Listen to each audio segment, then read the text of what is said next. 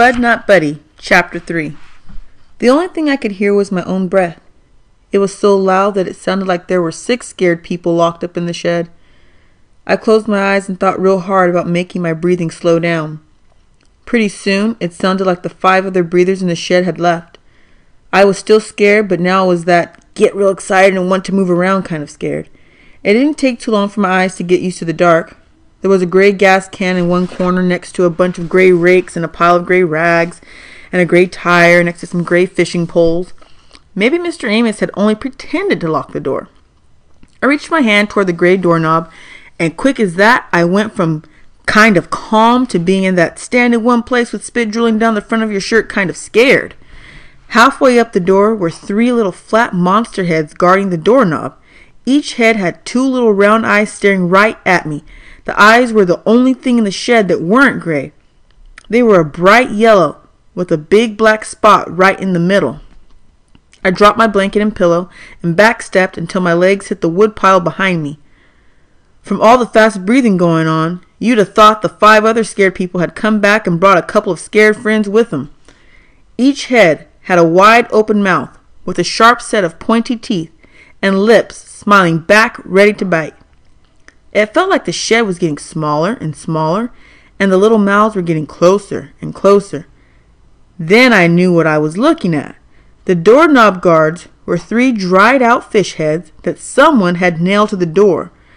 I ran over to the pile of rags and poked at one of them with my shoe to make sure there weren't any rats or centipedes hiding under it. Then I picked it up and hung it over the fish heads so I couldn't see them and they couldn't see me. I picked up my blanket and pillow and had to decide what was the best way to sleep. I knew the floor was no good. I'd have bet all sorts of bugs and roaches were crawling around. I remember what happened to my best friend, Bugs, when a cockroach crawled in his ear one night at the home. Four grown folks had held Bugs down whilst they tried to pull it out with a pair of tweezers, but the only thing that that did was pull the roach's back legs off. When they were digging around in Bugs' ears with the tweezers, you'd have thought they were pulling his legs off, not some cockroaches. I'd never heard a kid scream that loud. After about 15 minutes of Bugs screaming, the joint down, they said they were going to have to take him to the emergency room to get the roach out. It was almost morning when Bugs got back. Everyone was asleep, except me. I waited until they put him in his bed and turned off the lights. I said, Did they get it out? He said, Oh, hi, bud. Yeah, they got him. Did it hurt a lot? Nope. Were you scared? Nope. Then how come you were screaming so doggone loud? He said, I didn't know I was. I probably couldn't hear me screaming 'cause that roach was so loud. I'd seen lots of roaches, but I'd never heard one of them make any sound. I said, Loud how? Well, Bugs ain't so different from us as you'd think.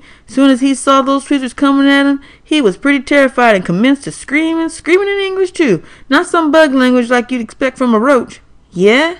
What'd he say? All he kept yelling was, My legs! My legs! Why have they done this to my legs?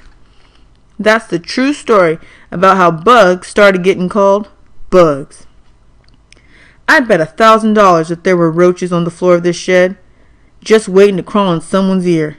And I'd bet those Amoses would have even tried to pull the roach out, and who knows how long I'd have had to listen to some terrified roach screaming his head off right up against my eardrum. I spread the blanket on top of the woodpile and climbed up on it. This put me so I was even with the window. I took a piece of bark and brushed all the spiderwebs from the front of the window. Then I put my hand on the glass to see if the newspaper was pasted on from the inside or the outside. I touched paper.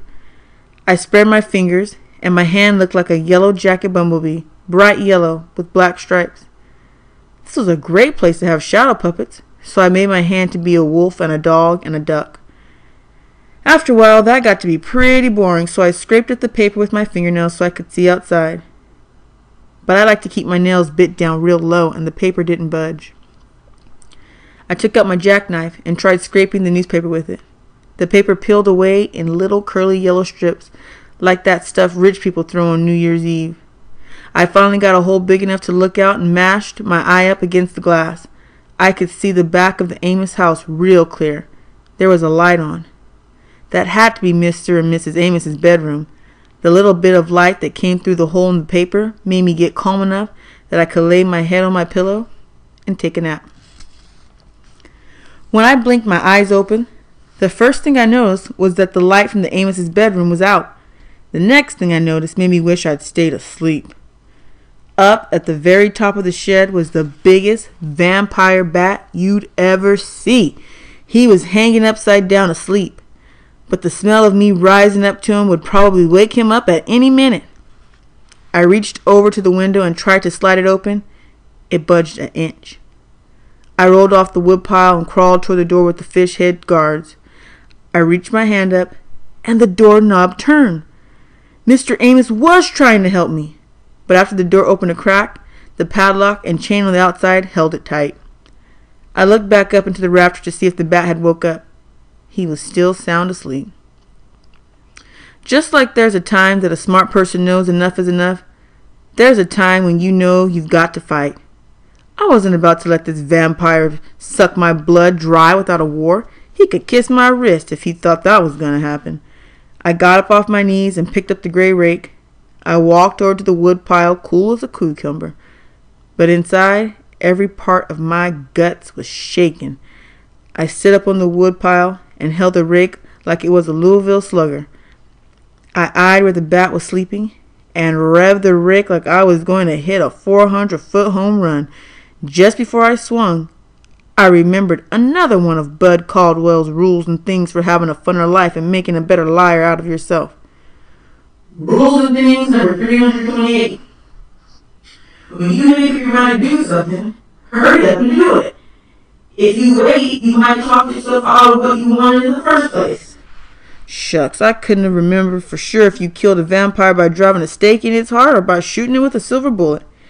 If I was wrong and didn't kill the bat right away, I was going to be trapped in the shed with the vampire who was probably going to be real upset that someone had woke him up by whacking him with the rake. I took my jackknife out of my pocket and pulled the blade open. That way, if I didn't kill him with the rake and it came down to the two of us tussling on the floor, maybe a silver blade in his heart would be just as good as a silver bullet. Unless that was what you had to do with werewolves. I raised the rake over my head again, closed my eyes, and swung it like I was Paul Bunyan chopping down a tree with one blow. I felt the rake jerk a little when it hit the bat, and I opened my eyes just in time to see the vampire get cut right in half. I was kind of surprised it didn't scream or cry or say, Curses, you got me! Instead, the only sound I heard was a kind of rattling, like a couple of pieces of paper rubbing together or like dry leaves blowing around in the wind.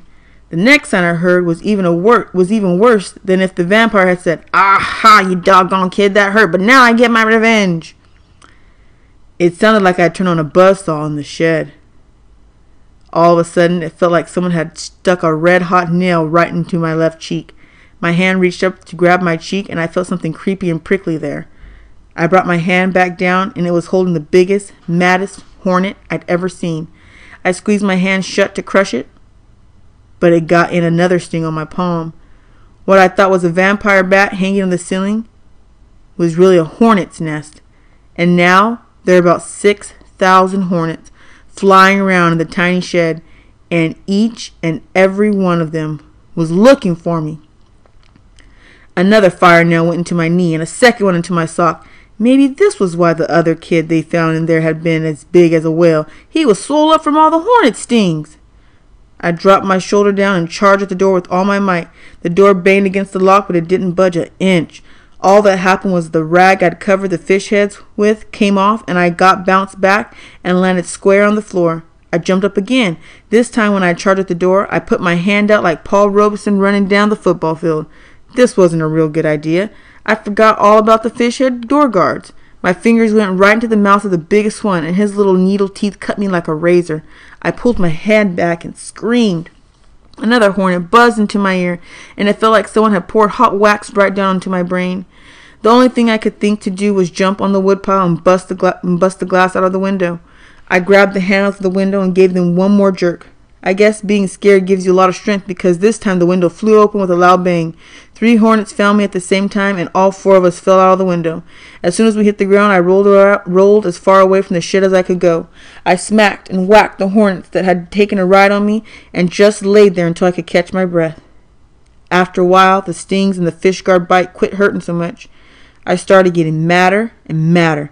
I was mad at the Amoses, but most of all, I was mad at me for believing there really was a vampire in the shed and for getting trapped like this where there wasn't anybody who cared what happened to me.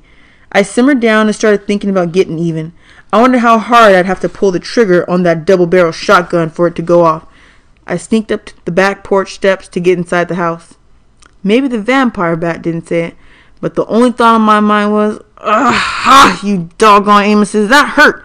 But now I get my revenge.